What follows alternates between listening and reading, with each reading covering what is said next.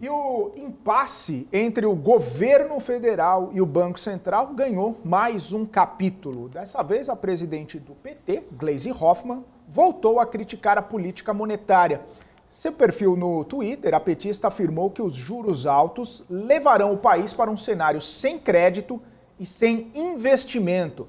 Ela fez uma referência à edição de fevereiro do boletim macro da FGV Ibre, que mostra uma desaceleração em diferentes setores da economia.